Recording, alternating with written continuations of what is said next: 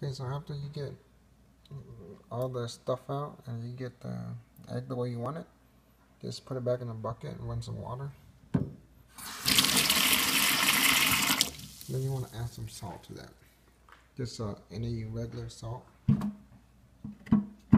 Just kind of put a couple teaspoon in there and just let the egg soak. That way you'll get all that fishy smell out of it.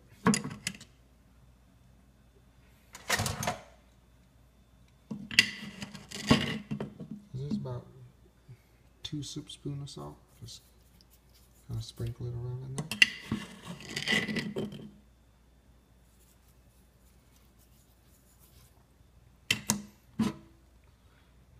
And then you kind of want to just mix around.